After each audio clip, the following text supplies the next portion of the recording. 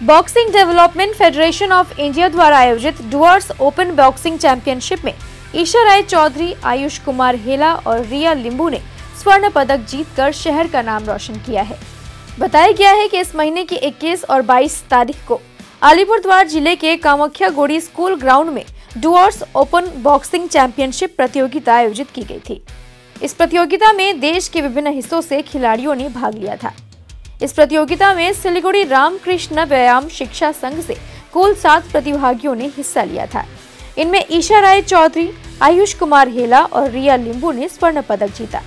मयंक हेला, दीक्षा दास और गौरव चौधरी ने रजत पदक जीता, जबकि सायन पाल ने कांस्य पदक जीता है। इस संबंध में कोच सौरभ मंडल ने कहा कि খেলা।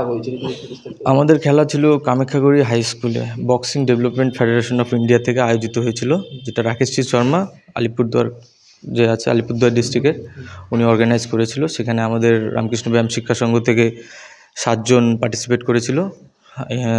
তার মধ্যে ঈশা এবং আয়ুষ আর রিয়া লিম্বু তিনজন গোল্ড আর হচ্ছে সায়ন পল আর গৌরব চৌধুরী, এরা সিলভার তার মধ্যে একজনের ব্রোঞ্জ আছে।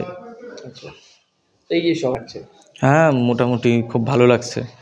খুবই উৎসাহিত। আর আমাদের বক্সিংয়ে ফার্স্ট টাইম এটা আমরা মানে বক্সিং টুর্নামেন্ট পার্টিসিপেট করলাম। তার মধ্যে প্রথমেই আমাদের এরকম ভালো ফলাফলে আমরা কতগুলো টিম মোটামুটি প্রায় অনেক ছিল। কলকাতা থেকে ছিল তারপরে এদিকে দার্জিলিং থেকে ছিল এদিকে সিকিম থেকে ছিল তারপরে রাজস্থান থেকে একজন ছিল পাঞ্জাব থেকে একজন অল ওভার ইন্ডিয়া থেকে মোটামুটি প্রায় ছিল। কোন কোন ক্যাটাগরি প্রায় সব ক্যাটাগরি ছিল যেগুলো বক্সিংয়ে থাকে।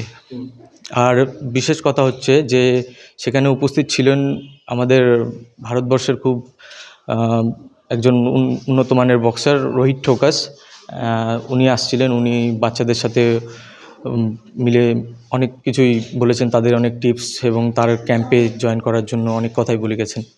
এটা খুব খুশির ব্যাপার যে ওনার মতন একজন বড় প্লেয়ার আমাদের সামনে এটা একটা বিশাল বড় এটা এটা ফার্স্ট টাইম হলো নর্থ বেঙ্গলে দ্বিতীয় বছর করার মতন পরিকল্পনা আছে তার, সে আমাকে জানাচ্ছে।